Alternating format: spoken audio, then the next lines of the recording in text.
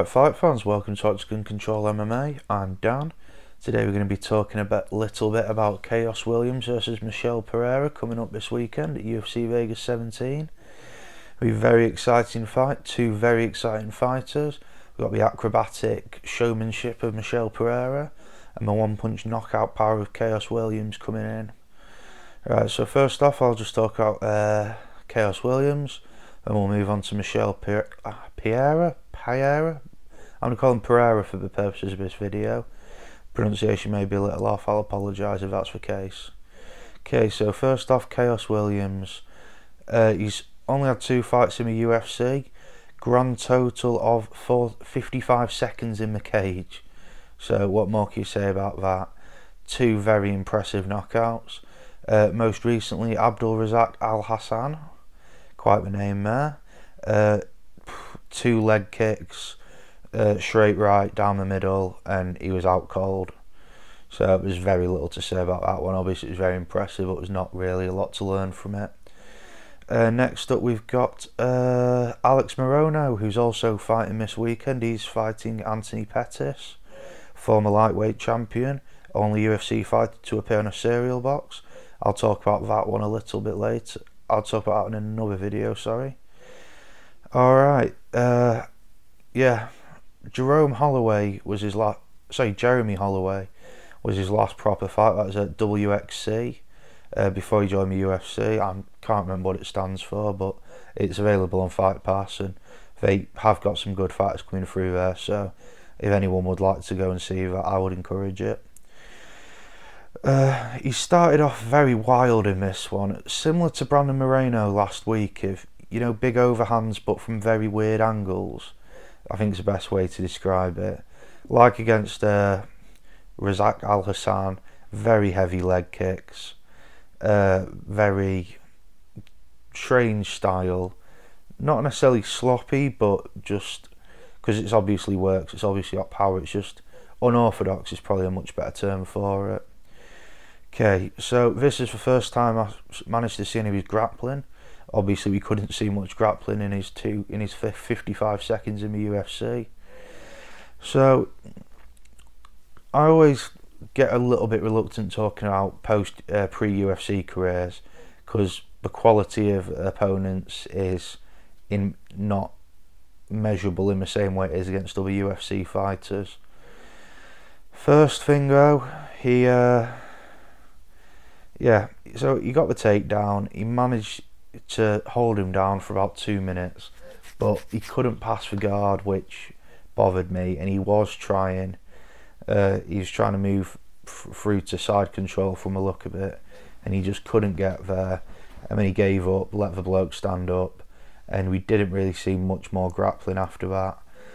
Um, as the second round went on, the striking was becoming more even.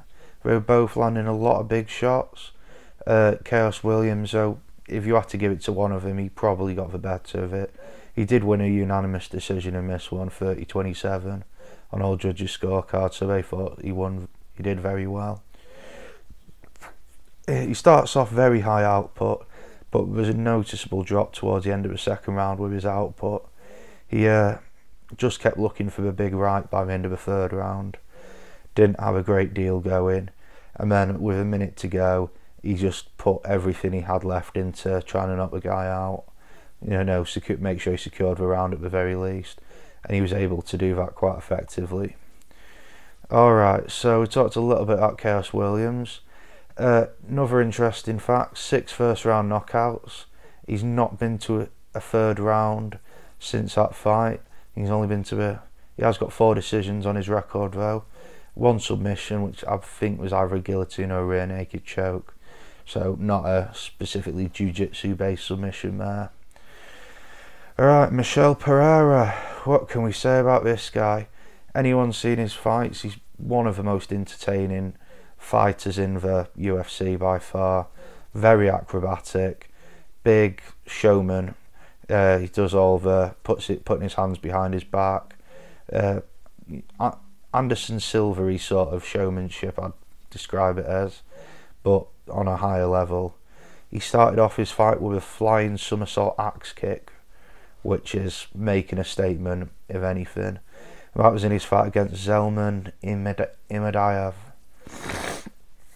Chechen fighter, uh, one of the Ali Abdelaziz guys.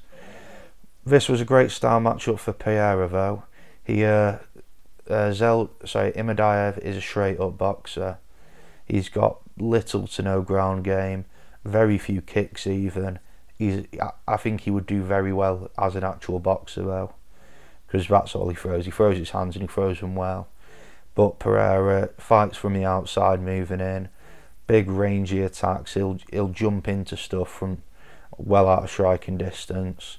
Superman punches, the Showtime kicks.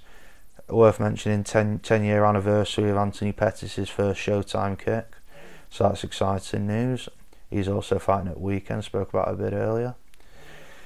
Yeah, but he uh, he doesn't have boring fights. This guy, that's the best thing you can say about him.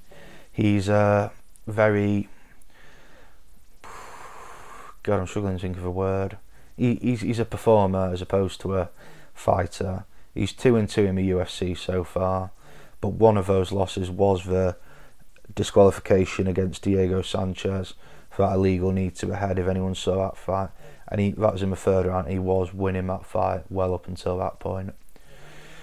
Yeah, it's just going to be a very exciting fight, though. It's going to be a matchup between Khaos Williams' power and Michel Pereira's skill and uh, flexibility, let's say, and variation of his strikes. Okay, we'll do a side by side now of the various attributes I like to assign. We've got striking, grappling, fight IQ, chin, and gas tank. Sorry, mine's all over the place today. This video is going to be terrible. Alright, so striking, I'm going to give it to Khaos Williams. Not, please don't take it as me saying Michel Pereira's got bad striking, because his striking's very good, but he doesn't have the same one punch knockout power that Khaos Williams has by any stretch at all. Okay, grappling's going to go to Pereira. Again, he doesn't necessarily use it all the time, but he's got he's won a few jiu-jitsu tournaments. Uh, obviously, he's a black belt. I'm not sure how uh, high level those tournaments were that he did win, or who he competed against. But again, the fact he competes in jiu-jitsu tournaments suggests he takes an interest at least. Khaos Williams, I've not been able to find a great deal of footage with him grappling, and I'm not saying he can't do it, but it's clearly not his first choice either. So it'd be interesting to see if it does go to the ground. Okay, fight IQ. Surprisingly on this one, this is one I struggled with most. I'm going for Piero on this one. Purely because, although he does risky stuff and shows himself up, fancy tricks, he doesn't actually get hit that much. I mean, he's only ever been knocked out once in 35 fights. Sorry, 37 fights. He's had two no contests as well. Both those were for missing weight, by the way, which I don't think he's going to have a problem this time. He came in at 169 and a half in his last fight, so he seems to have got this settled. Okay, uh, Chin is going to go to I think I'm going to have to split it down the middle on this one. Uh, Khaos Williams never been knocked out. Uh, Michel Pereira uh, only been knocked out once. The reason I have to give it a split though is because neither fighters, I've not seen either of them get hit with anything huge.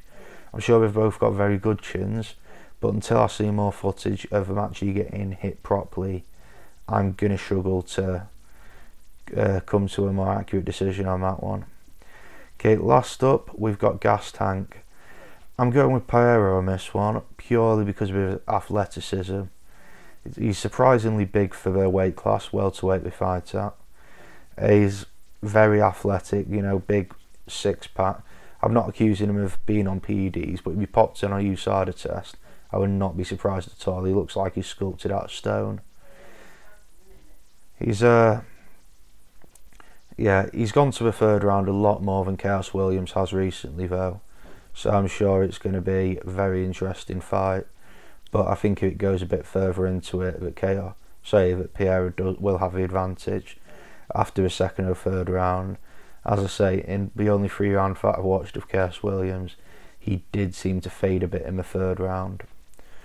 Okay, now it's time for my pick. I'm going for Khaos Williams on this one, and I'm not as confident as I'd like to be. He's uh, evens for the win, so plus 100, uh, plus 150, 6 to 4 for the stoppage, and 13 to 2 plus 6, 650 for the decision. I'm going to go for stoppage. I don't think he'll win a decision, and with it being a 650, neither to be odds makers either. But his last two fights, he was a plus 270 against Alex Morono and a plus 180 against uh, Alhassan. So, and he knocked both of those two guys out in 30 seconds. Pereira's coming in at a one, minus 125 for the win, plus 165 for the stoppage, and plus 350 for the decision. But I just can't sleep on uh, Khaos Williams knockout power this one. So that's going to be my pick.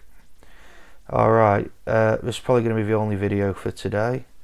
So we'll see you tomorrow where we'll be talking about Geoff Neal versus uh, Stephen Wonderboy Thompson. That's our main event. I'm also thinking about doing some in-depth uh, profiles on the fighters. Just doing a whole video talking about each fighter. This will probably be for event headliners that are coming up a week or two before the event. Just so everyone can get a bit of background on them leading into fight week. Right, so that's going to wrap us up for today. You've been watching Octagon Control MMA. I'm Dan. Hope everyone has a great night, and we'll see you tomorrow.